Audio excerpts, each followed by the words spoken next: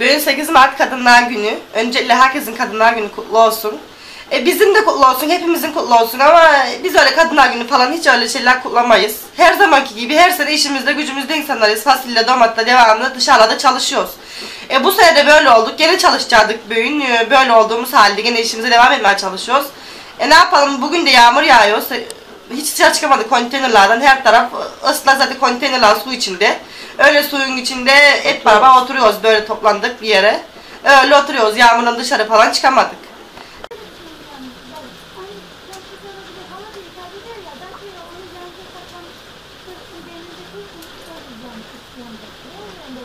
Hı. 8 Mart Dünya Kadınlar Günü, tüm kadınlar Dünya Kadınlar Günü kutlu olsun. Bugün yağmur yağdı, evdeyiz, bir yere çıkamadık. Biz de evde çeyiz yapıyoruz işte, şu, öyle. Yani. Öyle. Kadınlar günümüz kutlu olsun. Biz kadınlar günü bilmezdik, işe giderdik. İşte konteynerimizde yağmur yağıyor. Oturuyoruz. Günümüz kutlu olsun.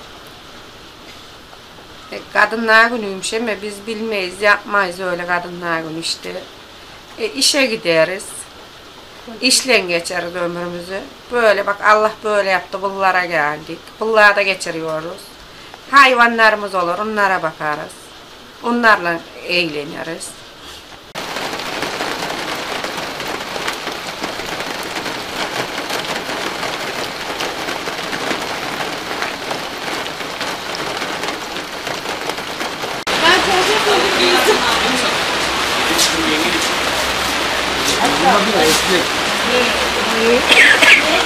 Kuru fasulye, yemeğin hası. Ha. Sever mi? Allah.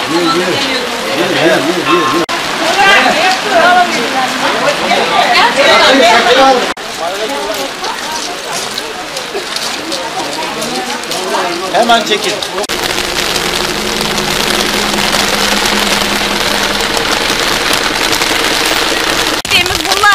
Hissedebileceğiz bir aydır bunları hissediyoruz. Hiçbir şey hissedemiyoruz hissettiklerimizi zaten unuttuk da hissettiğimizi falan biz.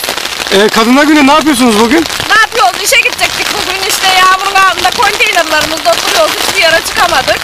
İşte böyle belki dışarılarda otururduk hep beraber ama dışarıda çıkamadık yağmurdan bugün.